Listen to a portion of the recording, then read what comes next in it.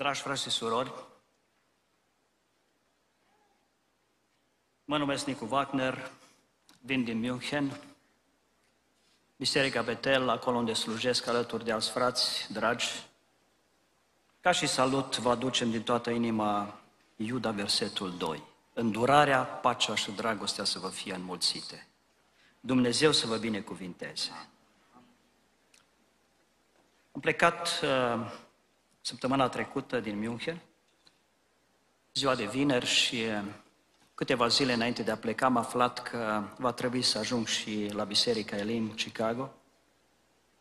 Și soția mea mi-a pus o întrebare. Nu ai emoții că trebuie să ajungi acolo și să slujești la fratele Ionescu în biserică? Am zis că nu, dar aveam. Vă spun că am emoții deoarece îmi revine o responsabilitate extraordinară. Și aș vrea să împărtășim în seara aceasta câteva gânduri legat de o lucrare, ceea ce noi am făcut până acum. Închinare prin cântare.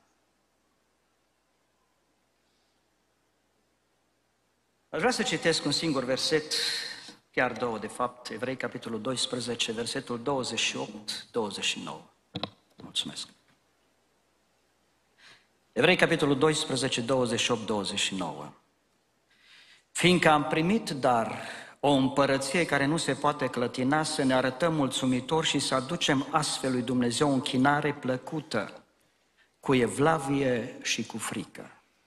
Fiindcă Dumnezeul nostru este un foc mistuitor. Amin.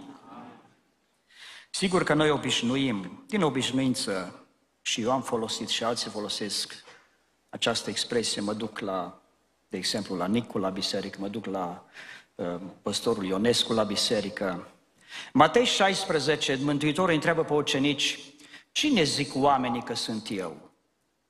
Păi unii zic că ești Ioan Botezătorul, unii zic că ești Ilie, unii zic că ești Eremia, unul zic că ești unii, unul dintre proroci, dar voi, cine ziceți că sunt? Și Petru tu ești Hristosul, Fiul Dumnezeului celui viu. Ferice de tine că nu-ți carnea și sângele ți le-a descoperit că Tatăl meu care este în ceruri. Și pe această piatră, pe această mărturie îmi voi zidi biserica mea. Și porțile locuinței morților nu vor birui. Nu este nici a mea, nici a ta, este a Lui. Slăvească este numele Lui în veci de veci. Cine e Apollo? Cine e Pavel? Unul seamănă, celălalt udă, cine face să crească este Domnul. Slăvit să fie numele Lui.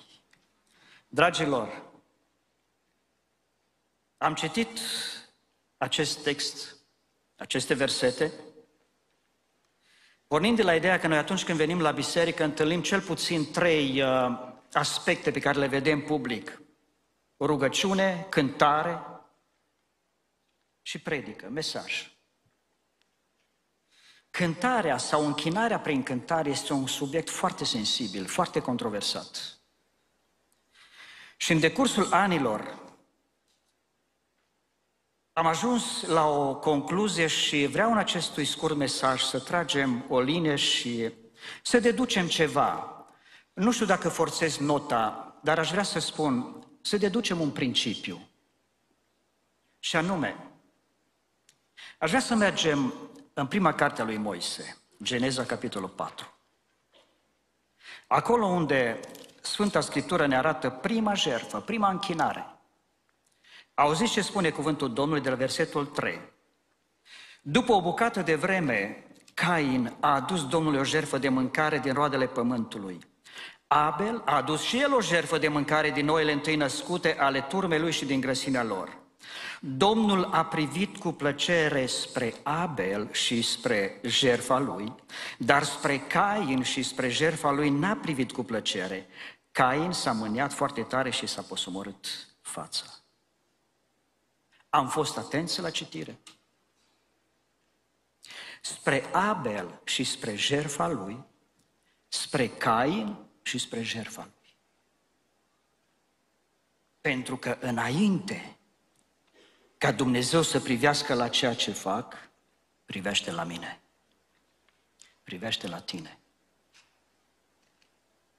Mi-aduc aminte că în urmă cu 12 ani, mai bine, când am format Biserica Betel, unul din copiii mei, un chitarist extraordinar, foarte bun, era în grupa de laudă și a început să o scade, când cu lumea, când cu biserica.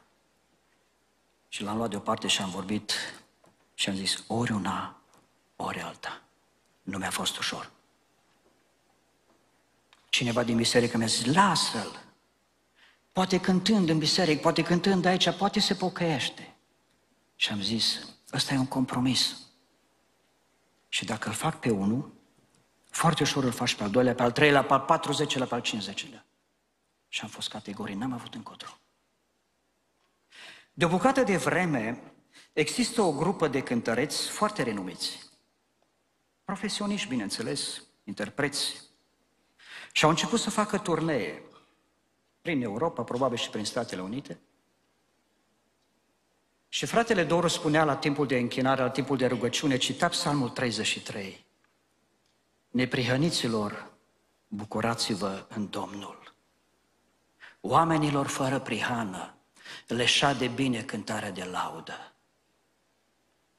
Și am auzit și m-am indignat. Cântări care au fost izvorâte pe temnițele pușcărilor comuniste, pe, pe cimentul rece și în martirajul crunt. Cântate de acești oameni, de exemplu, Iisus al meu, prieten scump. Cu cât aroganță, cu cât curaj. Atenție! Dumnezeu să uită la mine și apoi la ceea ce fac. 1 Samuel, 2 Samuel, mă scuzați, capitolul 7. David, vine Nathan la el și zice David, auzi ce m-am hotărât. Nu este corect, nu e bine ca, virgulă, chivotul Domnului, al Dumnezeului meu să locuiască într-un cort și eu să stau într-o casă mare, într-un palat. Am să-i fac Domnului o casă.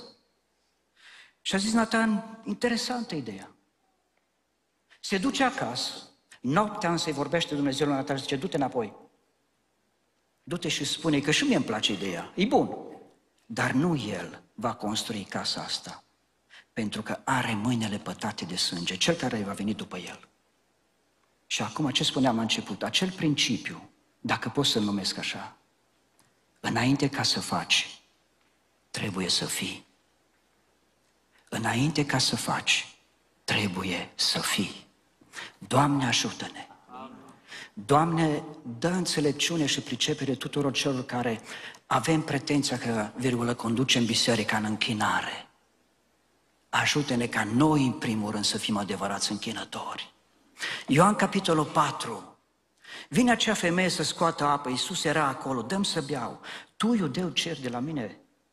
Noi nu avem nicio legătură între noi. Dar auzi, voi ziceți uh, că închinarea trebuie să fie la templu. Noi zice că pe munte. Unde trebuie să ne închinăm? Acolo Iisus nu-i răspunde femeii că unde, ci cum trebuie să ne închinăm. Zice Iisus, adevărat, adevărat îți spun că nici la templu, nici pe munte. Adevărați închinători se vor închina Tatălui în duc și în adevăr, fiindcă astfel de închinători dorește și Tatăl. Domnul să vă binecuvinteze. Păstrați această casă să fie o casă autentică de rugăciune. A intrat Isus în templu. Toată noaptea probabil s-a, ce a văzut acolo. A venit a doua zi din nou și a, Ioan zice că a făcut un, un bici din ștreanguri și a început să dea în stânga și în dreapta. Afară este scris casa mea se va chema o casă de rugăciune cât va ținea viacurile. Iar voi ați făcut din ea o peștere de tâlhare. Păstrați această o casă de rugăciune. Când va veni cel nenorocit aici să-L simtă pe Dumnezeu prezent. Când va veni cel abătut de valuri, să simtă mângâierea Duhului Sfânt prin cântare, prin rugăciune, prin mesajele care le rostiți. Hristos să se vadă în tot ceea ce faceți.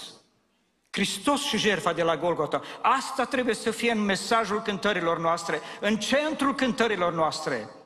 Am spus de atâtea ori, de ce ne este rușine? De ce ne este rușine? Că poți că îi cânți ei cântarea, poți să-mi o cânți mie adevărate declarații de dragoste.